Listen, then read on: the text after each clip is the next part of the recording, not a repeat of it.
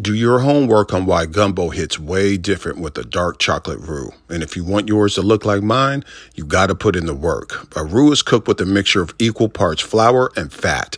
I'm using one cup of flour and canola oil. It should take about three minutes until the oil heats up. Then I add the flour and immediately start to whisk away the lumps.